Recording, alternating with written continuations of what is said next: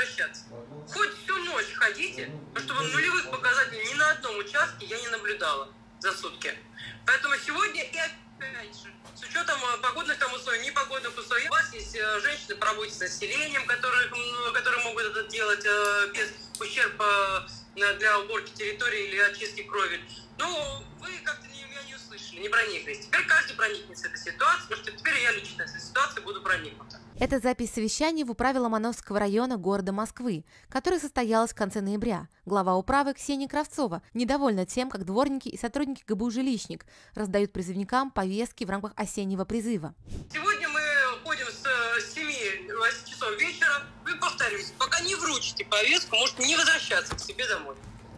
Динамику нулевую за сутки я не принимаю ни от кого. У кого будет нулевая динамика за сутки, с тем я лично буду э, входить в.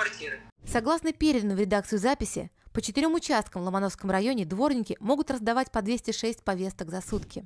Значит, завтра с самого утра. Днем не надо ходить, никого нету дома, все работают, либо учатся, либо еще кто-то. Можете днем как раз заниматься уборкой территории и очисткой крови. А вот раннее утро и, вечер, и поздний вечер в вашем распоряжении для вручения повестки. Повторюсь, каждый вечер мы с вами подводим итог за сутки. Поэтому сегодня вы уходите с 7 часов вечера, завтра с 6 утра. В распоряжении редакции есть еще одна запись, сделанная уже 25 ноября. На ней глава управы говорит, что раздавать повестки нужно так же активно, как во время мобилизации, и буквально кричит на своих сотрудников. Отработка точно такая же, которая была на мобилизации. Ничем не отличается призывная кампания. Судя по диалогу, пока дворники очень плохо справляются с этими задачами. Почему? Не получилось вручить. Не открыли. Сколько у него повесток было? 75. Из 70 повесток сколько людей работало? Четыре человека. 4 человека. И вчера, и сегодня утром. Да. И по всем не, не, не смогли вручить. Все 75 повесток отработали, и вручение ноль. да. Я думаю, может быть, э, в выходные дать дышку, чтобы... То есть мы же постоянно по этим адресам выходим. Когда вы сядете на место главы управы, тогда я вам позволю думать. Как бы меняете сами местами, тогда будете думать.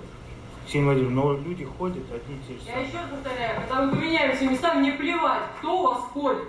Я повторяю, поменяйте людей своим участием личным и другим участием людей. Вы что мне тут какую-то ерунду несете? Прежде чем что-то говорить, думайте своей головой. Он думает. Передышку дать. Что в целом известно о Ксении Кравцовой?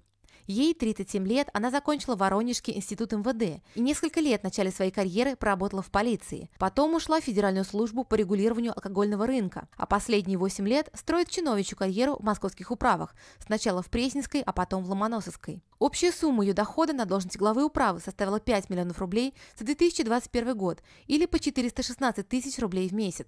Ее подчиненные и раньше были недовольны условиями труда. Например, в 2019 году в Ломоносовском районе случился бунт дворников. Они жаловались на маленькие зарплаты и невносимые требования руководства, а также отсутствие выходных. Мы требуем их снимать оттуда, или уволить, или заменить. Пока сотрудники Кравцовой разносят повестки в армию, она постит на своей страничке ВКонтакте поздравления к Международному дню инвалидов.